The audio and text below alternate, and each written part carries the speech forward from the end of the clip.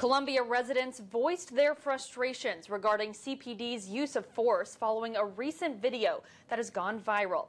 Thanks for joining us tonight. I'm Morgan Buresh. And I'm Lucas Geisler. We have been following this story since the video came out of a CPD officer hitting a man in the face outside of Harpo's on Sunday morning. Tonight, Columbia's Citizens Police Review Board was expected to review the department's use of force policy, but that didn't happen. ABC 17's Marina Diaz joins us live from City Hall.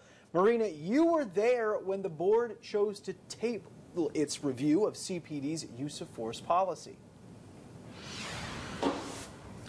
Morgan Lucas, board members unanimously voted to table those discussions on items that they say they've had on the agenda for well before the incident that happened on Saturday.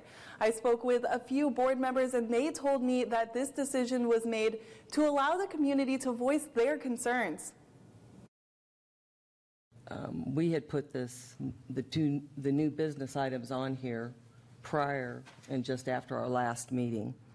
And I know there's public here that's going to speak to it. Columbia's Citizen Police Review Board unanimously voted to table its review of both CPD's use of force and response to resistance policy as well as its body worn camera policy.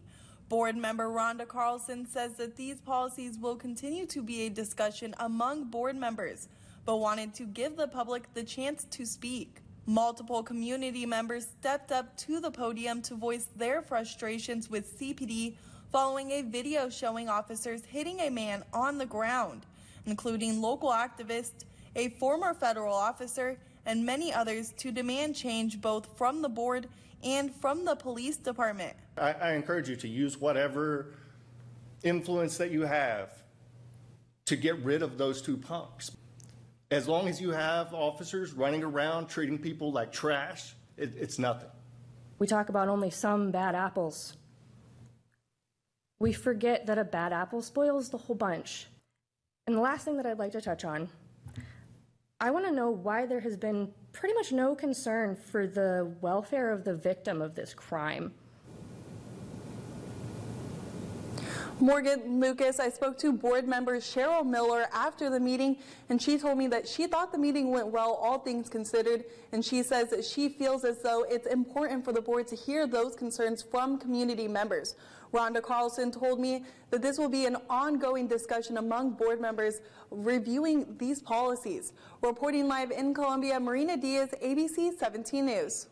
I thank you, Marina. Anthony Wilroth with Hold Como Accountable said that he's frustrated with the board's decision to table these policy reviews, especially after the police department rescheduled its community meeting to avoid conflicting with this meeting tonight. Next Citizens Police Review Board meeting set for June 14th.